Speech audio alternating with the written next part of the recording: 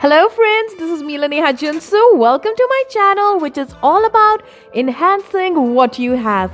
Today we are going to review Pony Effect Powder Touch Lip Lacquers. It comes in 8 shades but I bought only 6 because I'm broke. These lip lacquers come in the usual Pony Effect packaging that is navy blue and gold.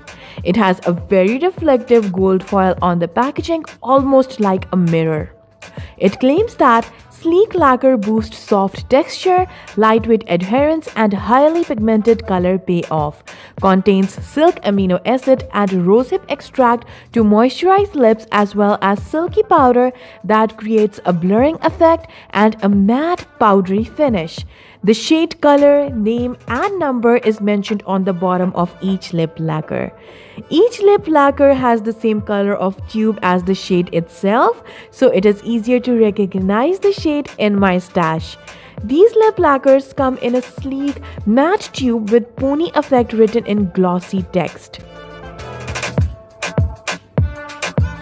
The wand is a sleek wand and is a little bent back as well. The first shade Dream It is an elegant pinkish red reminiscent of wild roses. These shades have spongy, cloud-like texture. It is rich in texture but lightweight at the same time. It for sure has blurring and smoothing effect. It has a strong smell like floral perfumes, which I'm not a fan of to be honest, but it's a good option for people who want to kiss because the smell remains on your lips for hours.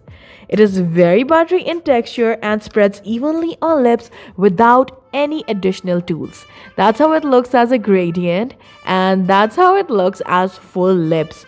It is giving raspberry cranberry vibes. I have quite dry lips and it isn't accentuating it, which is great. These lacquers aren't sticky, but it moves on your lips if you apply it a lot as it doesn't dry as much. It does transfers a little, but still my lip color doesn't look uneven. It looks even at all times, even when I'm drinking or eating. It doesn't make lips look wrinkly after few hours as well. That is the tint it leaves on the lips and it doesn't dries out my lips either. It stays put on the lips for up to 4 to 5 hours. 003 Like It is a beige rose color with sweet warmth to it.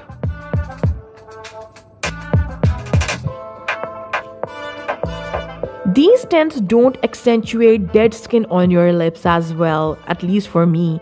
In fact, it smoothens and blurs it. That's how one layer gradient looks like of 003 and that's how full lips look with it. It looks quite even, even after the transfer.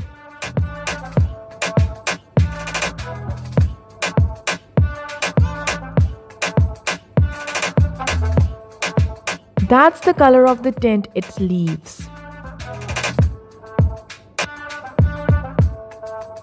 005 Unlock It is a nude beige color with brown undertone to it.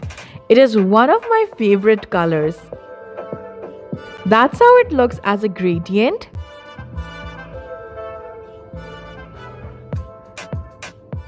That's how it looks as full lips. Lovely. I look so good here.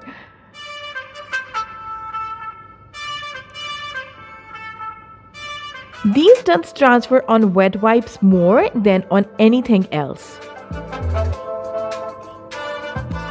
And that's the tint it leaves. 006 Love It is a warm red color that I think will suit any skin color. In fact, all these shades would suit any skin tone or color. But I just said this because red is always a hit or miss. So that's the gradient of Love It. And these are the full lips.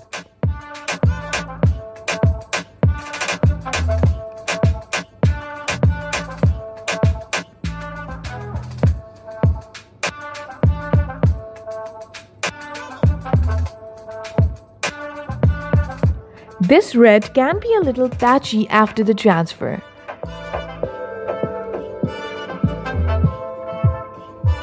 Double Zero Seven Enjoy It is a cheerful brick orange color.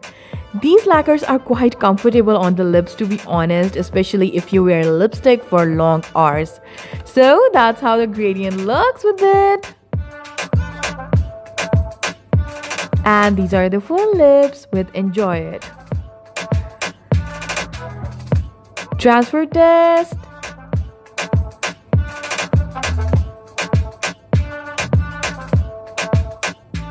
And that's the tint it leaves on the lips. 008 Burn It is a more deeper color than 007. It is a brown color with hint of orange.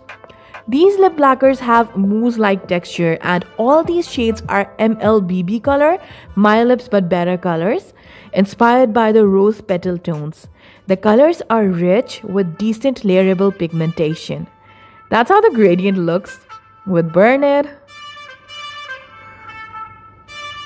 That's how the full lips look. All these colors would complement any skin tone, trust me. These lip lacquers are so lightweight that I forget that I have something on my lips. The only thing that I don't like is that it transfers a bit even on my cups or glasses. So I will rate this 4.5 by 5 and will definitely recommend it to all of you minus 0.5 for the transfer. Bye bye.